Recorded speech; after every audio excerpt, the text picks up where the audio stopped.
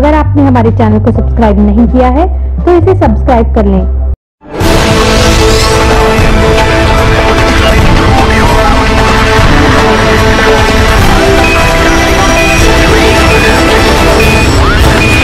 आज बठिंडा में दिन भर सियासतदानों का तांता लगा रहा प्रोफेसर बलजिंदर द्वारा नामजदगी पत्र भरे गए आपको बता दें कि आम आदमी पार्टी की लोकसभा हल्का बठिंडा से उम्मीदवार द्वारा नामजदगी पत्र भरा गया thank you ji thank you ji thank अच्छा आज का क्या स्ट्रेटजी क्या है पार्टी की आप लोगों की अ, आम आदमी पार्टी का इस समय क्या लग रहा है आपको ਆਮ ਆਦਮੀ ਪਾਰਟੀ ਲੋਕਾਂ ਦੀ ਆਵਾਜ਼ ਹੈ ਲੋਕਾਂ ਦੇ ਮੁੱਦਿਆਂ ਤੇ ਲੈ ਕੇ ਇਲੈਕਸ਼ਨ ਲੜੂਗੀ ਜਿਵੇਂ ਪਹਿਲਾਂ ਲੜਦੀ ਆ ਰਹੀ ਹੈ ਤੇ ਲੋਕ ਸਭਾ ਬਠਿੰਡਾ ਦੇ ਵਿੱਚ ਇਸ ਵੇਲੇ ਬਹੁਤ ਪੋਜ਼ਿਟਿਵ ਮਾਹੌਲ ਆ ਕਿਉਂਕਿ ਨਾ ਸਰਕਾਰ ਨੇ ਕੋਈ ਕੰਮ ਕੀਤਾ ਹੈ ਔਰ ਜਿਹੜੇ 10-10 ਸਾਲ ਲਗਾਤਾਰ ਐਮਪੀ ਰਹੇ ਗਏ ਨਾ ਉਹਨਾਂ ਨੇ ਕੋਈ ਕੰਮ ਕੀਤਾ ਹੈ ਮੈਂ ਆਮ ਆਦਮੀ ਪਾਰਟੀ ਦਾ ਜੋ ਇੱਕ ਸੈਲਾਬ ਸੀ 2017 ਦੇ ਦੌਰ ਦੇ ਅੰਦਰ ਅੱਜ ਉਹ ਸੈਲਾਬ ਤੁਹਾਨੂੰ ਨਹੀਂ ਲੱਗਦਾ ਕਿ ਉਹ ਸੈਲਾਬ ਮਿਸ ਹੈ?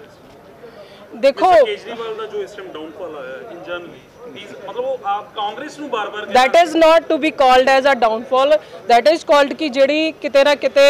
ਪਾਰਟੀ ਨੂੰ ਲੈ ਕੇ ਡਿਸਪਾਇੰਟਮੈਂਟ ਹੋਈ ਹੈ ਕਿ ਜਿਹੜੀ 2017 ਦੇ ਵਿੱਚ ਅਸੀਂ ਸਰਕਾਰ ਨਹੀਂ ਬਣਾ ਸਕੇ। ਉਹਦੇ ਨਾਲ ਡਿਸਪਾਇੰਟਮੈਂਟ ਹੋਈ ਹੈ ਬਟ ਸੀ ਕਿ ਆਮ ਆਦਮੀ ਪਾਰਟੀ ਇੱਕ ਨਵੀਂ ਹੁੰਦੇ ਆ, ਜਿਹਦਾ ਗ੍ਰਾਫ ਜਿਹੜਾ ਆ 6-7 ਸਾਲਾਂ 8 ਸਾਲਾਂ ਦੇ ਵਿੱਚ ਕਿੱਥੇ ਤੱਕ ਪਹੁੰਚਦਾ ਆ? 7-8 ਸਾਲਾਂ ਦੇ ਵਿੱਚ ਪਾਰਟੀ ਦਾ ਮੇਨ ਆਪੋਜੀਸ਼ਨ ਦੇ ਵਿੱਚ ਆਉਣਾ ਔਰ ਜਿਹੜੀ ਇਹ ਗੱਲ ਕਰ ਰਹੇ ਆ ਕਿ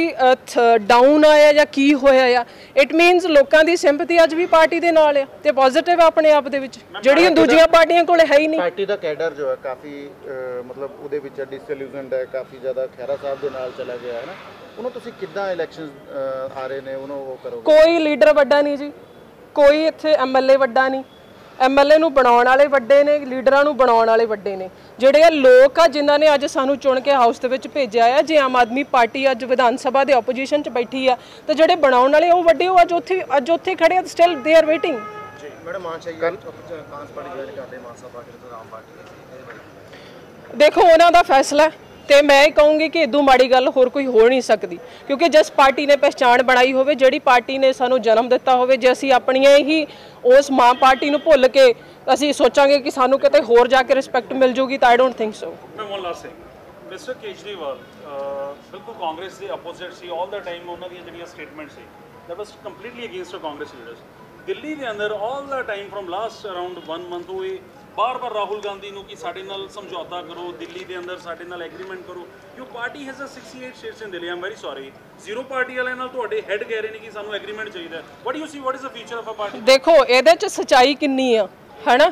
ਉਹ ਸਾਨੂੰ ਦਿੱਲੀ ਦੀ ਗਰਾਊਂਡ ਤੇ ਜਾ ਕੇ ਪਤਾ ਲੱਗਣਾ ਆ। ਪਰ ਮੈਂ ਇਹ ਕਹਿ ਸਕਦੀ ਹਾਂ ਕਿ ਜਿੰਨੀਆਂ ਗੱਲਾਂ ਆਉਂਦੀਆਂ ਨੇ ਕਿ ਪਾਰਟੀ ਦਾ ਅਲਾਈਅੰਸ ਹੋ ਰਿਹਾ, ਪਾਰਟੀ ਇੱਥੇ ਤਰਲੋ ਮੱਛੀ ਹੋ ਰਹੀ ਹੈ ਸਮਝੌਤਾ ਕਰਨ ਦੇ ਲਈ, ਪਾਰਟੀ ਇਹ ਚਾਹੁੰਦੀ ਹੈ ਦੈਟ ਇਜ਼ ਆਲ ਮਤਲਬ ਜਿਹੜਾ ਕਿ ਮੀਡੀਆ ਦੇ ਰਾਹੀਂ ਸਾਨੂੰ ਸੁਣਨ ਨੂੰ ਮਿਲਿਆ ਆ ਔਰ ਮੀਡੀਆ ਦੇ ਰਾਹੀਂ ਸਾਡੇ ਕੋਲੇ ਪਹੁੰਚ ਰਿਹਾ ਹੈ ਸੋ ਹਾਲੇ ਇਹਦੇ ਵਿੱਚ ਕੁਝ ਵੀ ਜਿਹੜਾ ਆ ਉਹ ਨਹੀਂ ਹੋਇਆ ਨਾ। ਤਾਂ ਆਪਾਂ ਕਿੱਦਾਂ ਕਹਿ ਸਕਦੇ ਹਾਂ? He is talking about Arvind Kejriwal not Sanjay madam ਜੇ ਬਠਿੰਡੇ Sanjay I'm very sorry Sanjay madam ਜੇ ਆਪਾਂ ਬਠਿੰਡੇ ਦੀ ਗੱਲ ਕਰੀਏ। ਰਾਜਾ ਬੜਿੰਗ ਹਰਸਿਮਰਤਪੁਰ ਬਾਅਦ ਤੁਸੀਂ ਜਿਹੜੇ ਹੋ ਕਿੰਨਾ ਤੁਸੀਂ ਕਹਿੰਦੇ ਤੁਹਾਨੂੰ ਦੇਖੋ ਕੈਂਡੀਡੇਟ ਕਾਂਗਰਸ ਨੂੰ ਲੋਕਲ ਕੋਈ ਮਿਲਿਆ ਨਹੀਂ। ਠੀਕ ਹੈ, ਜਾਂ ਫਿਰ ਇਹਨਾਂ ਨੂੰ ਲੋਕਲ ਕੈਂਡੀਡੇਟ ਦਿੰਦੇ ਹੋਏ ਡਰ ਹੀ ਇਹਨਾਂ ਲੱਗਦਾ ਸੀਗਾ ਕਿ ਦੋਆਂ ਸਾਲਾਂ ਤੋਂ ਦੋਆਂ ਸਾਲਾਂ ਦੇ ਵਿੱਚ ਸਰਕਾਰ ਨੇ ਸਵਾ ਦੋ ਸਾਲਾਂ ਦੇ ਵਿੱਚ ਕੋਈ ਕੰਮ ਨਹੀਂ ਕੀਤਾ। ਔਰ ਵੈਸੇ ਵੀ ਜਿਹੜੇ 10 ਸਾਲ ਐਮਪੀ ਰਹਿ ਗਏ, ਉਹਨਾਂ ਨੇ ਕੱਲੀਆਂ ਸੜਕਾਂ ਬਣਾਉਣ ਤੋਂ ਸਿਵਾਏ ਹੋਰ ਕੋਈ ਡਿਵੈਲਪਮੈਂਟ ਨਹੀਂ ਕੀਤੀ। ਔਰ ਵਜ਼ੀਰੀਆਂ ਹੰਡਾਉਣਾ ਮੈਂ ਕਹਿੰਦੀ ਆ ਮਾਲਕ ਕਿਸੇ ਕਿਸੇ ਨੂੰ ਦਿੰਦਾ ਆ। ਤੇ ਜਿਹੜੇ ਫੂਡ ਪ੍ਰੋਸੈਸਿੰਗ ਮਿਨਿਸਟਰ ਰਹਿ ਗਏ, ਉਹ ਚਾਹੁੰਦੇ ਤਾਂ ਇੱਥੇ ਜਿੰਨੇ ਮਰਜ਼ੀ ਫੂਡ ਪ੍ਰੋਸੈਸਿੰਗ ਦੇ ਪਲਾਂਟ ਐਸਟੈਬਲਿਸ਼ ਕਰ ਸਕਦੇ ਸੀਗੇ। ਇੱਕ ਵੀ ਪਲਾਂਟ ਉਹਨਾਂ ਨੇ ਇੱਥੇ ਨਹੀਂ ਲਾਇਆ ਤੇ ਜੇ ਅੱਜ ਪੰਜਾਬ ਖਾਲੀ ਹੋ ਰਿਹਾ, ਜੇ ਸਾਡੀ ਬਠਿੰਡਾ ਬੈਲਟ ਖਾਲੀ ਹੋ ਰਹੀ ਹੈ ਮੁੰਡੇ ਕੁੜੀਆਂ ਪੜ੍ਹੇ ਲਿਖੇ ਬਾਹਰ ਜਾਂਦੇ ਆ, ਤੇ ਬਹੁਤ ਆਰ ਰਿਸਪੌਂਸਿਬਲ ਭਾਵੇਂ ਉਹ ਕਾਂਗਰਸ ਸਰਕਾਰ ਹੈ ਭਾਵੇਂ ਉਹ ਅਕਾਲੀ ਦਲ ਆ। ਤੇ ਵੈਸੇ ਕੋਈ ਮਾਇਨੇ ਨਹੀਂ ਰੱਖਦਾ ਜਦੋਂ ਕੋਈ ਬਾਹਰੋਂ ਕੈਂਡੀਡੇਟ ਕਾਂਗਰਸ ਵਾਲੇ ਜਿਵੇਂ ਇੱਥੇ ਭੇਜ ਰਹੇ ਆ। ਤੁਸੀਂ ਅੱਜ ਤੁਸੀਂ ਅੱਜ ਨੋਮੀਨੇਸ਼ਨ ਕਰਤਾ। ਹੁਣ ਰੈਲੀਆਂ ਦਾ ਦੌਰ ਸ਼ੁਰੂ ਹੋ ਜਾਊਗਾ ਅਰਵਿੰਦ ਕੇਜਰੀਵਾਲ ਜੀ ਕਦੋਂ ਪਹੁੰਚ ਰਹੇ ਨੇ ਵੈਸੇ ਉਹਨਾਂ ਦਾ ਹਲੇ ਫਿਲਹਾਲ ਕੋਈ ਪਲਾਨ ਨਹੀਂ ਹੈਗਾ ਬਟ 12 ਤੋਂ ਬਾਅਦ 19 ਤੱਕ ਉਹ ਪੰਜਾਬ 'ਚ ਹੀ ਰਹਿਣਗੇ। ਮੈਂ one last thing if you elected as MP ਲੋਕ ਤੁਹਾਨੂੰ ਨੋਮੀਨੇਟ ਕਰਦੇ ਨੇ ਆਪਣਾ thing what is your road map of a development of a Bathinda constituency ਕੀ ਰਹੇਗਾ? ਸਭ ਤੋਂ ਪਹਿਲੀ ਗੱਲ ਤਾਂ ਸਭ ਤੋਂ ਪਹਿਲੀ ਗੱਲ ਤਾਂ ਇਹ ਹੁੰਦੀ ਆ ਕਿ ਐਮਪੀ ਦੇ ਜਿਹੜੇ ਉਹਨੂੰ ਫੰਡਸ ਮਿਲਦੇ ਆ, ਕਿ ਐਮਪੀ ਉਹਨਾਂ ਨੂੰ ਸਹੀ ਥਾਂ ਤੇ ਲਾ ਦੇ ਔਰ ਸਹੀ ਵੇਲੇ ਲਾ ਦੇ ਔਰ ਲੋਕਾਂ ਦੀਆਂ ਜਿਹੜੀਆਂ ਮੰਗਾਂ ਨੇ ਉਹਨਾਂ ਨੂੰ ਪੂਰੀਆਂ ਕਰ ਦੇ। ਬੇਸਿਕ ਜਿਹੜੀ ਗੱਲ ਆ। ਤੇ ਪਿਛਲੇ ਐਮਪੀਆਂ ਦੀ ਤਰ੍ਹਾਂ ਨਹੀਂ ਹੈਗੀਆਂ ਵੀ 7.5 ਕਰੋੜ ਉਹਨਾਂ ਦੇ ਖਾਤੇ 'ਚ ਬਕਾਇਆ ਤੇ ਉਹਨੂੰ ਵਾਪਸ ਕਰ ਦਿਓ ਲੋਕਾਂ ਦੇ ਹੱਕਾਂ ਨੂੰ। ਸੋ ਪਹਿਲੀ ਜਿਹੜੀ ਪ੍ਰਿਓਰ ਆ ਕਿ ਅਸੀਂ ਲੋਕਾਂ ਨੂੰ ਬੇਸਿਕ ਜਿਹੜੀਆਂ ਨੀਡਸ ਆ, ਉਹਨਾਂ ਦੀਆਂ ਉਹ ਪੂਰੀਆਂ ਕਰਦੇ ਇੱਥੇ ਹਸਪਤਾਲ ਸਾਰੇ ਖਾਲੀ ਪਿਆ, ਕਿਸੇ ਦੇ ਵਿੱਚ ਕੋਈ ਡਾਕਟਰ ਨਹੀਂ ਹੈਗਾ।